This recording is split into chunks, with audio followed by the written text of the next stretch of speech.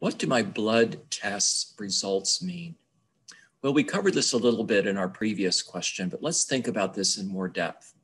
When you have blood tests done, your provider is looking at liver enzymes. That's AST, ALT, alkaline phosphatase, and GGT. It's important to remember these are not liver function tests. Some providers use that term, but it's not correct. Liver function is bilirubin, albumin, and a coagulation test called an INR. Liver function is important, but doesn't really change until people have cirrhosis or maybe in rare cases, acute liver failure. So that's the liver panel. We're also looking at the platelet count. Lower platelets typically means more liver damage, more fibrosis, because the spleen gets enlarged and the platelets get sequestered or hidden. Then we can combine liver enzymes and platelet count and a few other factors to get something called an APRI score or FIB4.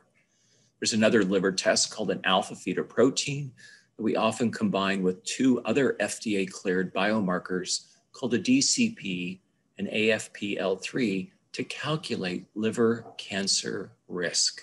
So discuss your liver enzymes, your liver function, your platelet count, and surrogate assessments for liver damage and liver fibrosis. Very important to have this discussion.